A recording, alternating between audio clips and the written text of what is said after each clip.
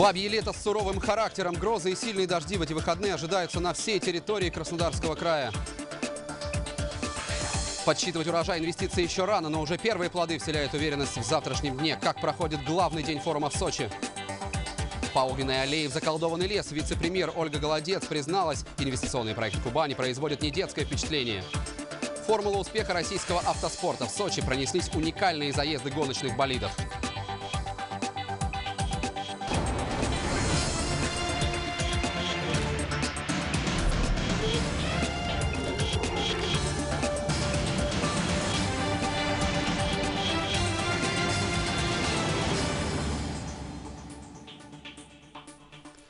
Все это и многое другое. Ближайшие 30 минут в программе «Факты». Здравствуйте.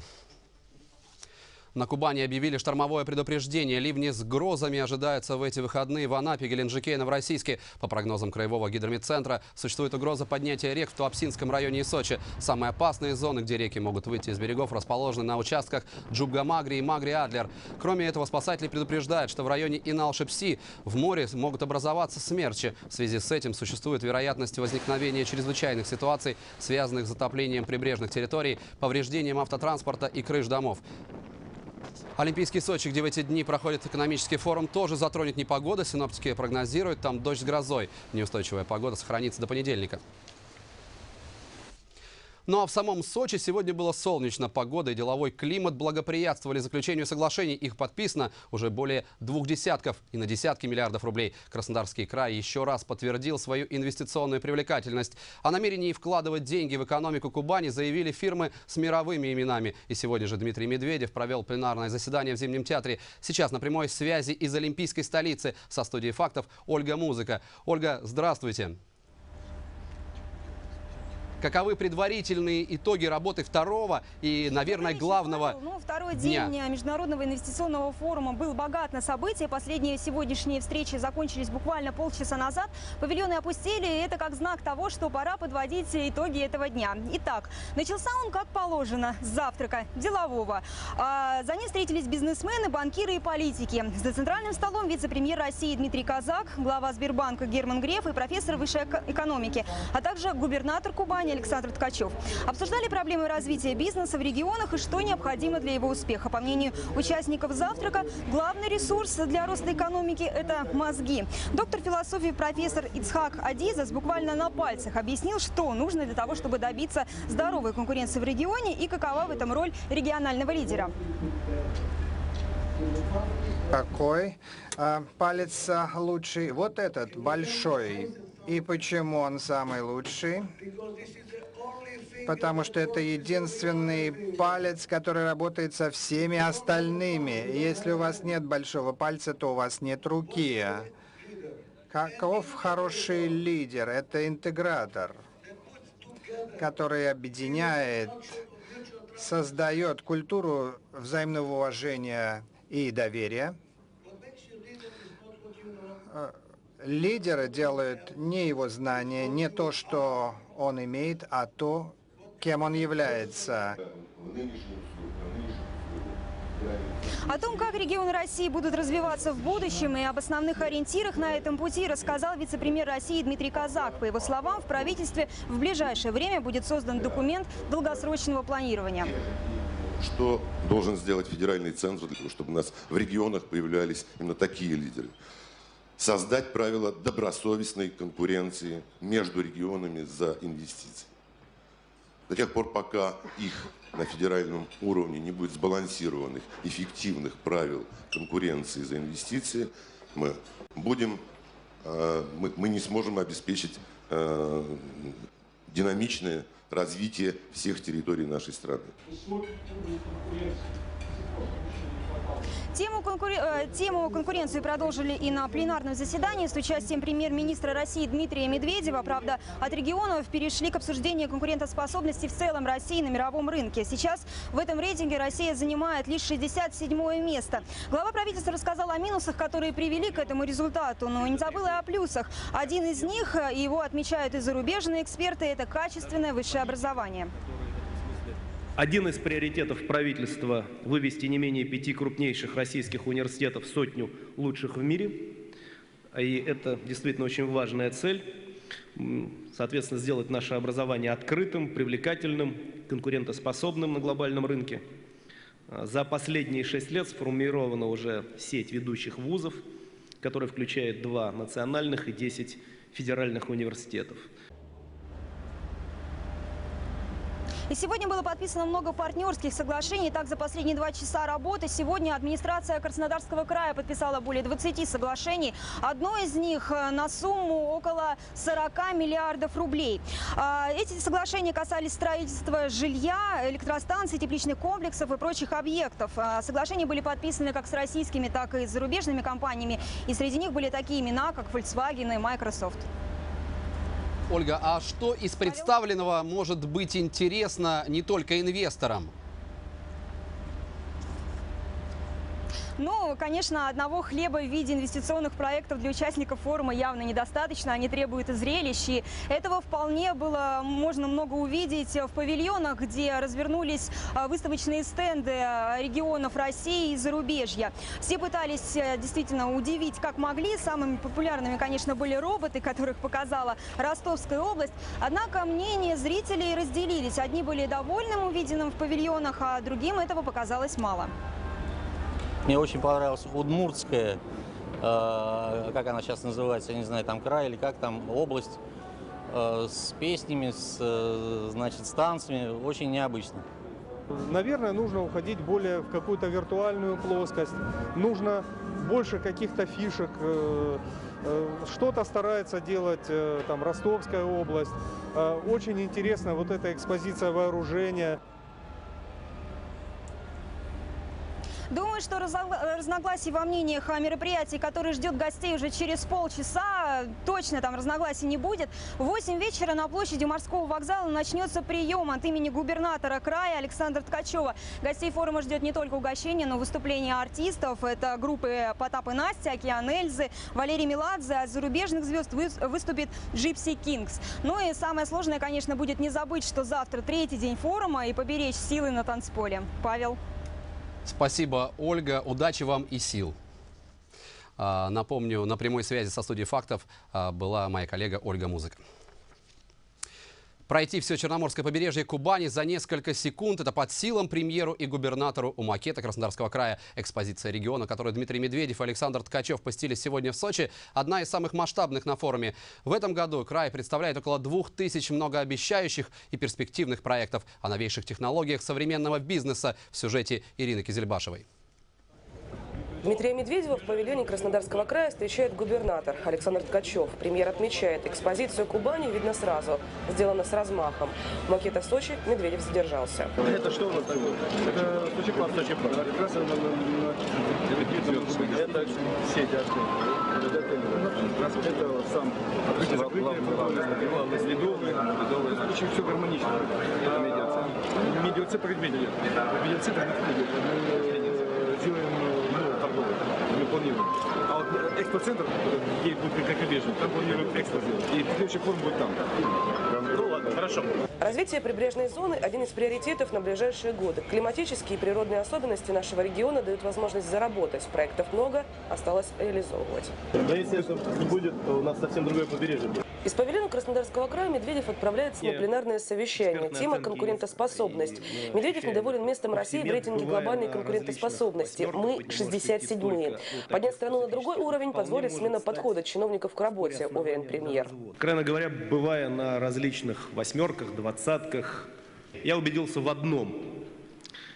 Ко всем нам, это правда, даже к политикам, которые в этом смысле самые костные люди, пришло сознание глубокой взаимосвязи глобальных экономических процессов с ситуацией, которая складывается в наших странах и просто невозможности изолироваться даже по частному экономическому вопросу. Вот это, может быть, главный урок кризиса. Это сегодня осознали все. Поэтому мы обязаны быть более чуткими и действовать сообща. В присутствии Дмитрия Медведева были подписаны важные для регионов соглашения. Краснодарский край заключил очередной договор с «Лукойл». У региона с компанией уже есть реализованные проекты. Реконструированная Краснодарская ТЭЦ, строится современная сеть АЗС. Теперь новый проект развития спорта в крае. Экономический форум дает разные возможности. С помощью форума, в том числе, мы э, пополняем и свой бюджет региональный. И за последние 10 лет он практически увеличился в 5 раз. А По уровню заработной платы край выходит в лидеры по югу страны и не только. А, И по другим, естественно, экономически важным показателям. И я даже приведу такой пример. Э, В рейтинге Минэкономразвития и Минрегион развития а, Краснодарский край, Кубань э, вошло число регионов э, номер один не только по, привлечению, но и по качеству инвестиций, по деловому климату, по отношению к бизнесу, к, инвестициям. Я думаю, что это говорит о том, что э, нам удалось э, за последние годы создать совершенно хорошую среду а, команду, и, конечно, и законодательство, льготы, субвенции, а, приоритеты для инвестиций. Э, Конечно, это дает, безусловно, экономический рост, новые рабочие места, э, налоговую базу, ну и в целом подъем нашей экономики. Уже заключено несколько десятков соглашений. И это только первый день форума. Ирина Кизрбашева, Денис Москаленко, Девятый канал, Сочи. Экспозицию Краснодарского края на международном форуме посмотрела вице-премьер правительства Ольга Голодец. Вместе с заместителем губернатора Кубани Галиной Зориной она посетила интерактивный Сочи парк. Авторы проекта представили гостям его 3D-версию. В детском парке приключений будет аллея огней с лазерным шоу, заколдованный лес и гостиничный комплекс в виде старинного замка. По подсчетам создателей, за день в парке смогут побывать до 12 тысяч гостей. Еще один проект строительства в Вимеретинской долине культурно-исторического центра с храмом нерукотворного образа Христа Спасителя. Место было выбрано не случайно, и сейчас служители православной церкви делают все, чтобы этот проект воплотился в жизнь.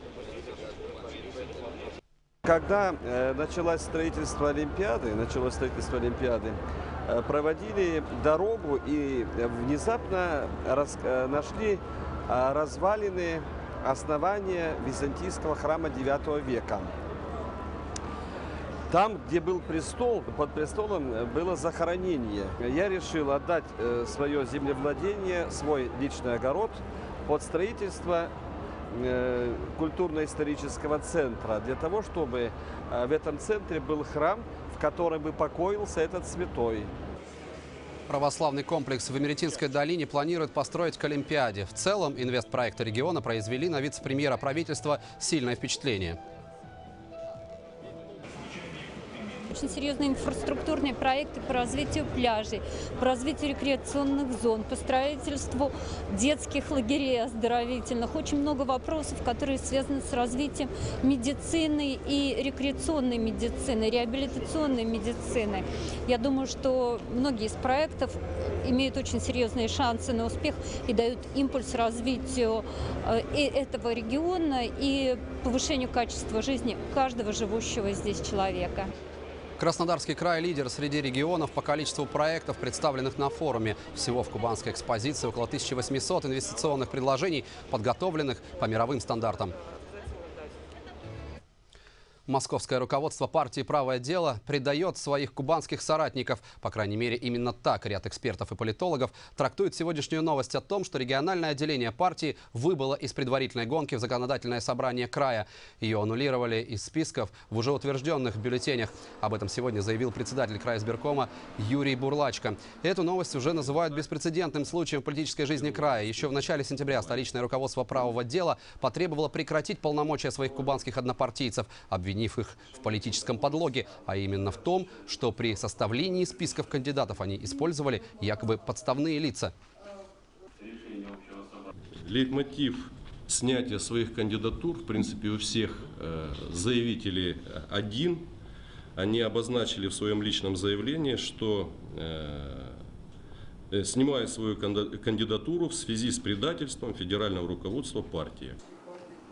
То, что между кубанскими и московскими праводелами действительно пробежала кошка, не скрывает и более того говорит об этом уверенно теперь уже бывший лидер регионального отделения правого дела Георгий Давидлидзе. Он считает действия московского руководства намеренными, нацеленными на развал партии. Если людей учат стрелять, но они ничему не научились, кроме как стрелять в затылок, это их трудности. Если появились в руководстве партии люди, которые хотят выбросить либеральный флаг, флаг и взять другой, это их личное дело. Но мы шли с этим флагом и идем дальше. Ведь главное правило – не предавать своих. Кто свой, кто чужой – это уже другой вопрос. По словам социологов, московское руководство правого дела намеренно занимается политическим убийством своей кубанской ячейки. Дело в том, что региональное отделение этой партии имеет слишком низкий рейтинг поддержки избирателей в крае – менее 1%. Федеральное руководство партии снимает своих депутатов. Я думаю, что они не хотят показать вот этот низкий рейтинг. Процент прохождения партии в, по результатам выборов нулевой. В бюллетене «Правое дело» занимала строчку с шестым номером. В крайсберкоме пришли к выводу, что список бюллетеней кардинально менять не будут. Номер, под которым числилась партия, просто уберут.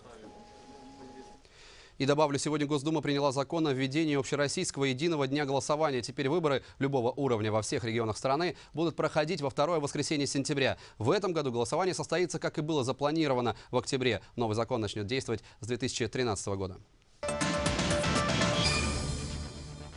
Всю неделю в Анапе фестивалят «Звезды российского кино». Там проходит 21-й по счету киношок. По традиции на нем отбирают лучшие фильмы из России, стран Балтии и СНГ. Но это официальная сторона киношока. Корреспондентам программы «Такая жизнь» удалось проникнуть в закулисье фестиваля и узнать, чем кормят звезд, где спать укладывают, как торгуются отечественные небожители и почему, например, актер Виктор Мирешко пришел на открытие киношока не по дресс-коду.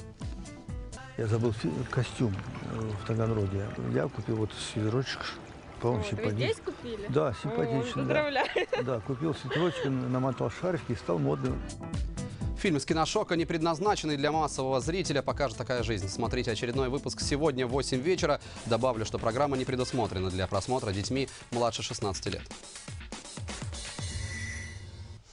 Купить билеты на железнодорожный транспорт заранее теперь очень проблематично. Руководство РЖД объявило запрет на раннюю продажу проездных документов, начиная с 26 октября. Хотя еще вчера их можно было купить за 40 дней. В компании объяснили, парламент сейчас решает вопрос о возвращении в России зимнего времени. Если депутаты одобрят проект в конце октября, железной дороге придется корректировать расписание и графики движения всех поездов, как пассажирских, так и грузовых. Работа ведется в максимально сжатые сроки. И о начале продажи билетов пассажиров проинформирует дополнительно, сообщает на своем официальном сайте компания. Инициатива об отмене перевода часов с летнего на зимнее время, напомню, принадлежит Дмитрию Медведеву. В этом году Россия в последний раз перевела часы вперед 27 марта. Для гостей Сочинского форума организовали множество деловых экскурсий. Так, делегация Тверской области побывала на стройплощадке Российского международного олимпийского университета. Он будет выпускать спортивных менеджеров. Огромное высокотехнологичное здание возвели меньше, чем за два года. Такие темпы строительства, по словам гостей, действительно можно назвать олимпийскими. Проект университета уникален. Кроме учебного корпуса, там создадут всю необходимую социальную инфраструктуру. Многоместной парковки, что немаловажно, так как стройка идет в самом центре города. Рядом расположится гостиница и крупнейший на юге России конференц-зал. Глобальная задача решается. Такое хорошее подспорье не только России, но и прежде всего региона. Мы с этой проблемой постоянно сталкиваемся, когда нам недостаточно именно спортивных менеджеров уже современного сегодняшнего дня. Это первое. А второе, конечно же, у меня есть э, своя особая и задача, и цель сегодняшнего посещения, да, убедиться, что я работаю с надежным партнером. До момента сдачи осталось меньше, чем год. Мы абсолютно уверены, что весной и летом следующего года весь объект будет сдан. Все это сделано на годы, на десятилетия, я надеюсь, на столетия. Ну и самое главное, что это придет к тому, что мы выпустим ну, массу студентов. Строители утверждают, комплекс Олимпийского университета будет сейсмобезопасным. В Сочи иногда бывают небольшие землетрясения или оползни. Чтобы защитить здание от природных катаклизмов, используют специальные сейсмоустойчивые опоры. В университете продуманы все условия и для обеспечения безбарьерной среды инвалидам. Пандусы, специальные лифты и тактильные знаки здесь будут повсеместно. 28 инвестиционных проектов на Международном экономическом форуме в Сочи представил Геленджик. Выставочные стенды города-курорта заняли два павильона. Для инвесторов представлены проекты по комплексу развития Геленджика. Это и застройка жилыми домами, и появление современного многофункционального спортивного комплекса, и расширение туристической зоны. Один из наиболее приоритетных проектов – стоянка для яхт на воде. Основным, наверное, проектом, который мы сегодня э, будем искать инвестора, это строительство яхтенной марины в Геленджике на 200 яхт, которая позволит э, дать еще один толчок развитию нашего э, города-курорта, как именно курортного Черноморского побережья. Стоимость только этого проекта оценивается примерно в 10 миллиардов рублей. Строительство яхтенной марины входит в единый крупный инвестиционный проект по реконструкции Геленджикского морского порта. На площади более 15 гектаров в районе Тонкого мыса планируется появление пассажирского вокзала, грузового порта, гостиницы и других значимых объектов. Сейчас в модернизацию порта вкладываются федеральные средства, однако для окончательной реконструкции необходимы еще и частные инвесторы. С начала форума администрации Геленджика уже подписано три соглашения на общую сумму более 4,5 миллиардов рублей. Несколько стратегических проектов энергетического, спортивного и инфраструктурного характера в Краснодарском крае реализует «Газпром». Это не только один из крупнейших партнеров Сочинского форума, но и ключевой инвестор региона. Благодаря новому магистральному газопроводу Джубга-Лазаревская-Сочи природным газом будут обеспечены не только спортивные объекты, но и все Черноморское побережье. Строительство Адлерской ТЭС завершится уже в этом году. Таким образом, проблема энергодефицита в регионе будет решена уже в ближайшее время. А лыжно-биатлонный комплекс станет для наших спортсменов первой спортивной базой в Среднегорье. Ну, наши все объекты можно разделить на два типа объектов. Это чисто спортивные объекты, которые у нас есть лыжно-биатлонный комплекс, где проведение соревнований по лыжным гонкам биатлону, и горно-олимпийская деревня, где будут проживать спортсмены. И вторая часть объектов – это инфраструктурные объекты, которые обеспечивают деятельность всех этих объектов. Это дороги, канатные дороги. Канатные дороги соединяют важнейшие объекты будущей Олимпиады. Лыжно-биатлонный комплекс и транспортный хаб «Альпика-сервис». В настоящее время завершается строительство горной олимпийской деревни и комплекса биатлонистов, где уже прошли первые тестовые соревнования. Спортсмены смогли оценить высокое качество биатлонного стадиона, трасс и олимпийской деревни. Таким образом, каждый объект «Газпрома» приближает Краснодарский край не только к новым достижениям в спорте, но и к новому уровню жизни. А в Кореновске скоро появится завод по производству пластификаторов для бетона, автозаправочный комплекс олимпийского формата и новый инкубатор. В первый же день работы Сочинского форума нашлись инвесторы для реализации этих проектов. Уже подписаны договоры на 750 миллионов рублей. Всего же кореновцы представят на форуме 20 предложений для крупного, малого и среднего бизнеса. Возможности у нас у района для привлечения инвесторов есть. У нас большая доля населения трудоспособном возрасте, развитая инженерная инфраструктура, транспортная. Для нашего района интересные проекты агропромышленного комплекса, строительства, социальной сферы, реконструкция парка. А новые предприятия для нас – это дополнительные рабочие места, э, пополнение собственных доходов бюджета и, как результат, улучшение качества жизни кореновцев. Социальный проект, в котором заинтересованы власти Кореновска, это реконструкция городского парка культуры и отдыха. Удобные дорожки, обновленная набережная, уютные кафе и разнообразные аттракционы. Макет реконструкции парка, представленный на форуме, уже заинтересовал не только посетителей, но и бизнесменов. И сегодня в рамках инвестиционного форума состоялся показательный заезд болидов Формулы-1. Впервые в Россию прибыли раритетные гоночные автомобили, участники формул прошлых лет. Спортивное шоу показали легендарные модели BMW и Ford. Именно с них и началась история самых престижных в мире автомобильных гонок. Заезд стартовал в 4 часа вечера. К этому времени по периметру трассы собралось несколько тысяч человек.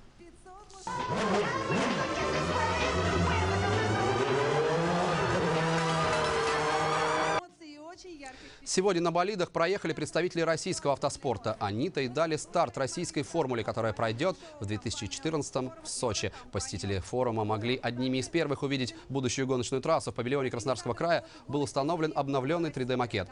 Первый в истории России этап Гран-при Формулы-1 станет мощным толчком развития отечественного автомобильного спорта.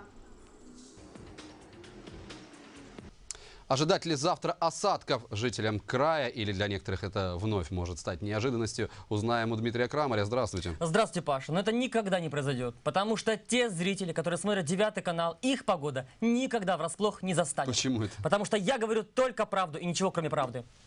Где ваш бюллетень? Я поставлю потом, галочку. Потом, потом разберемся. Все подробности через минуту. Оставайтесь на девятом канале.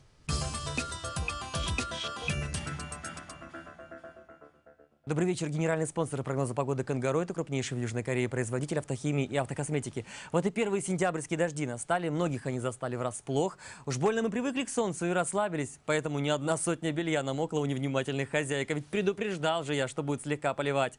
Но на этом погода не успокоится. Завтра прогнозы могут испортить не только настроение, но и имущество. Не дай бог, конечно. Так что отложите все в сторону и послушайте меня внимательно. Вот карта европейской части России. Вот тут циклон, он от Скандинавии. От него отходит холодный атмосферный фронт. Смотрите, какой он большой.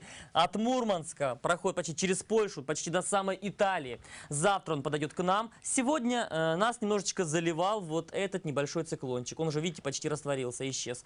А вот завтра к нам подойдет этот фронт и подарит мало, малоприятные сюрпризы. Что будет именно? Вот наш край. Во-первых, завтра объявлено штормовое предупреждение, но все по порядку. Утром вы все проснетесь, будет все хорошо, вроде бы небольшие облака, вроде бы солнце, да, вроде бы тепло. Но это ловушка. Уже днем фронт подойдет к Азовскому побережью, и будет в течение дня и ночи проходить через весь край. А значит, по всему краю ожидаются дожди, местами сильные, местами очень сильные, не исключен град и гроза. Температуры понизятся сразу на 6-8 градусов ночью. 13-18 это еще хорошо. А вот днем всего лишь уже 21-26. Что касается ветра, то он поменяет направление три раза.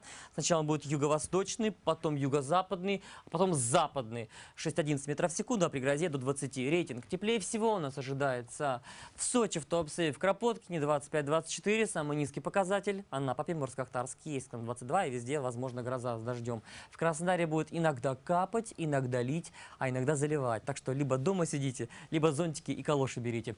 Судя по всему, рыбалка у многих и шашлыки на природе накрылись медным тазом. Температуры такие. Утром 18, днем 25, вечером 20. Ветер юго-западный, западный, давление чуть ниже нормы. Но расстраиваться не надо, потому что закончу очень хорошей новостью. Да, выходные немного подпорчены, но зато новая неделя снова начнется с солнцем и теплом, я обещаю. Всего хорошего, пока.